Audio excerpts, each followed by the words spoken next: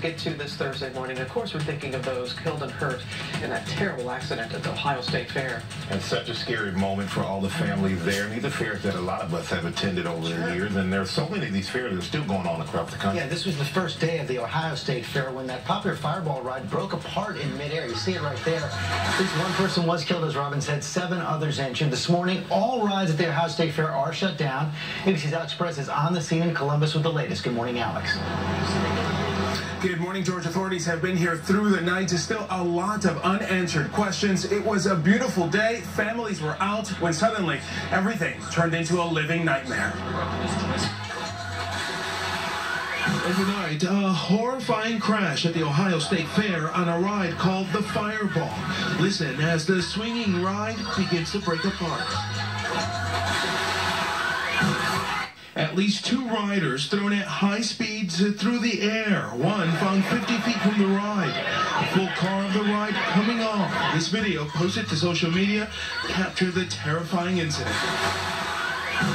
Seven people injured, five in critical condition, and an 18-year-old man killed. Bystanders and first responders rushing to aid the injured. Need help? Somebody's up there on the ride. Police and investigators quickly shutting the fair down. We will begin an investigation on this to determine what failure was, if any, and how this accident occurred.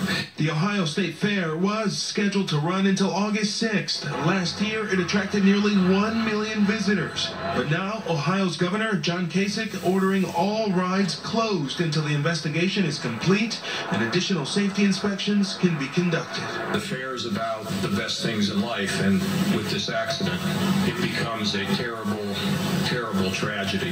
ABC station WSYX was with inspectors before the fair opened. We will periodically do spot checks just to ensure all that stuff is in place. Overnight in California, the Orange County Fair shutting down a ride similar to the Fireball as a precaution. This morning, investigators examining this terrifying video for answers about what caused this terrible tragedy. We're really, really shocked because I think they do take really good care in trying to prevent this kind of thing.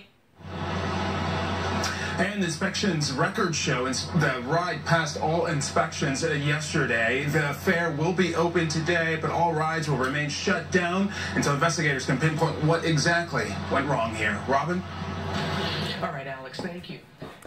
Well, I thought it was a good idea to for me to chime in on this because that is one of my most favorite rides. When it comes to town here, I don't know about you, but that ride kind of gives gets that adrenaline pumping, and it kind of makes me want to just ride more rides. And so when I saw that, I was thinking to myself, "Oh my God!" That my thoughts of being thrown away from this ride because of some loose screw can happen, and it can happen, and it did happen.